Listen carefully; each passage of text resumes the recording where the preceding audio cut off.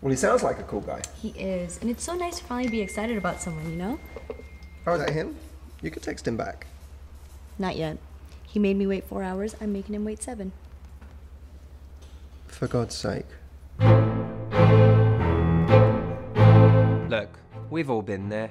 We're messaging someone, we're excited to reach out to them, and they take forever to text back. I don't want to give the impression that if someone takes a little time to text back, that should be a big problem.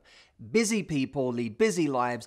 Present people aren't addicted to their phones where they're looking at them every second of the day. But what's weird is if they never text back in the moment. So sometimes when you text someone, there should be this frisson, this excitement that I got a text message from them. I'm going to text them right back. It's fun. That's what it should be. It shouldn't be that every time you reach out to someone, you end up waiting hours or days to get a response.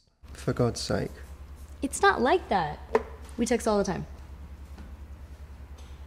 Simmi, What is it? the colours. Look at the colours. You're in the blue, mate.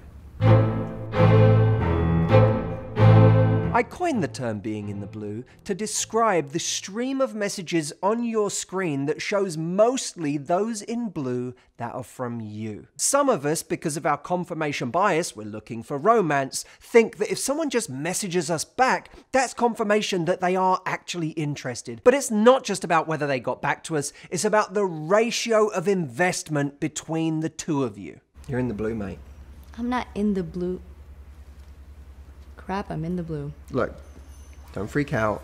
It's not like he only texts you in the night time when he's three cocktails deep, right?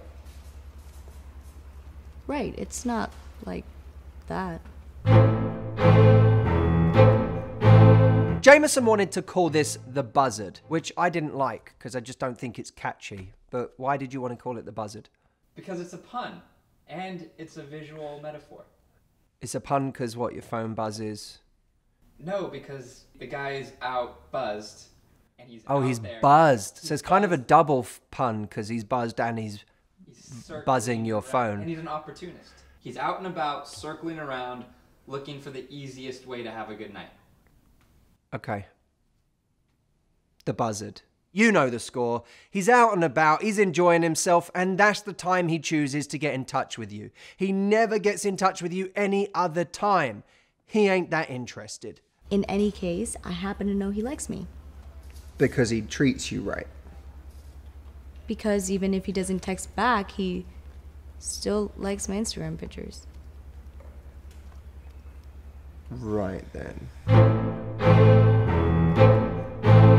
Ah, today is so weird. If a guy interacts with you on social media but can't respond on your phone, run for the hills because he either isn't interested but is just keeping you hanging on with some interaction or he's a child. All I can say is he must have been pretty great in person for you to still be interested. Well, technically, we haven't met up in person yet, so. You haven't met in person yet. It's not like that. I mean, he has been dropping hints that he wants to meet up. Oh, he has? Mm-hmm. Oh, that's great. Can I see? Yeah,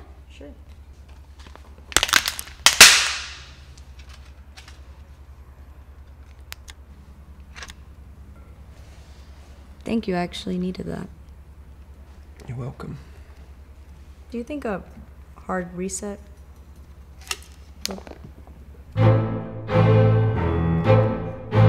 Look, if he's the kind of guy that keeps texting you without ever asking you out, shame on him. If you're the kind of woman who keeps texting him back even though he never asks you out, shame on you. Thanks for watching, everyone. I am here with Simmi Singh. Go subscribe to her channel. She has really funny videos. The links are in the bio. Thanks, Simmi, for being here. Thanks for having me. This was awesome. Thank you. It's been great, actually. It's been lovely. It's been brilliant. It's bloody brilliant. That's very offensive to my people. Well, they're my people too.